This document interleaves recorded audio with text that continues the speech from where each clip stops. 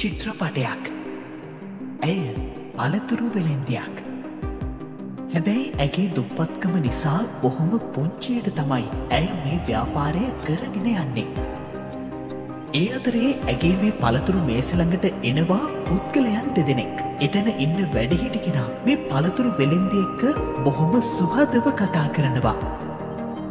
ඒ කතා කරලා ඇගෙන් හොඳ තොඩම් ගෙඩියක් දෙන්න කියලා ඉල්ලනවා. ඇය ඔහුට හොඳ තොඩම් ගෙඩියක් තෝරල දෙනවා. ඒක නම් ඇත්තටම හොඳ පාටයි ස්තුතියි ඔබට. එහෙම කියලා මේ පුද්ගලයා ඒ තොඩම් ගෙඩිය එතැනම සුද්ධ කරලා කන්න පටන් ගන්නවා. ඕ ඒක ගොඩක් ඇඹුල්නේ. මට එපා ඔයාම කන්න. මට ඒක ගොඩක් ඇඹුල් රසයි. දොඩම් කෑල්ල අතට ගත්ත ඇය ඒ තොඩම් කෑල්ල කාල බලනවා. ඇත්තමයි මටනම් මේක රසයි. ඕ ඇත්තටම ඒනම් ඔයා ඒක කන්න. මං පස්සෙ දවසකෙන්නම්.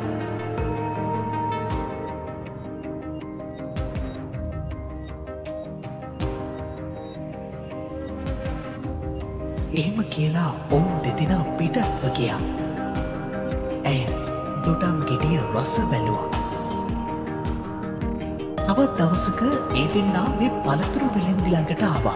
එදත් මේ පුද්ගලයා දොඩම් ගෙඩියක් කිල්ලුවා. ඇය හොඳම දොඩම් ගෙඩියක් තෝරලා ඔහුට දුන්නා. කලින් සැරේ වගේම ඔහු එදත් ඒ දොඩම් ගෙඩිය එතැනතිම රොස්ස බලන්න උඩම්. එදත් ඔහු දොඩම් ගෙඩිය ප්‍රතික්ෂේප කලා ගොඩක් ඇමුල් කියලා.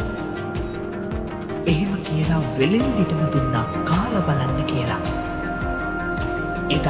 දොඩම් ගෙඩිය කාලා ඇය කිව්වා අනේ මටනම් ඒක වෙනසක් නෑ මටනම් රසයි. එහෙනම් ඔයා මේක කන්න. එහෙම කියලා ඒ පුද්ගලිය දෙන්න එතනින් පිටව ගියා. එදත් ඇය අර දොඩම් ගෙඩිය රසවින්න. තවත් දවසක් එදා දවසෙත් අර සිදුවීම ඒ විදියට වුණා. එදා නම් දොඩම් ගෙඩිය ගොඩක් ඇමුල් කියලා ප්‍රතික්ෂේප කරපු වෙලාවේ ඇයි ඕගෙන් ඇහුවා සමාවෙන්න මම ඔබ දුන්න සල්ලි ආපහු දෙන්නද.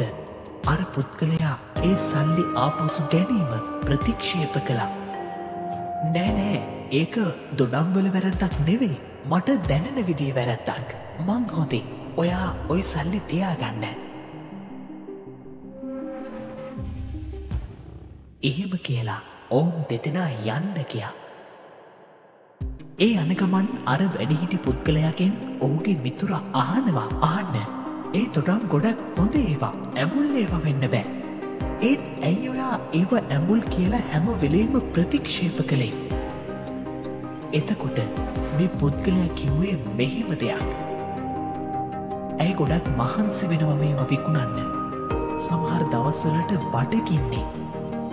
ඉතින් මම සල්ලිදිල්ලා දොඩම්මරන් ඒක ඇඹුල් කියලා ආපසු ඇයටම දුන්නම ඇය ඒක කෑවහම බඩගින්න හරිනිවේනේ. ඒක නෑට සල්ලිත් ලැබෙනවා පොඩි වෙලාවකට හරි ඇගේ බඩගින්නත් නිවෙනවා. ඒ නිසයි මං එහෙම කළේ. ඕ කරුණාවන්ත හදවත් හරිම ලස්සනයි. ඉතින් ඔබත් ඒ වගේ කරුණාවන්තද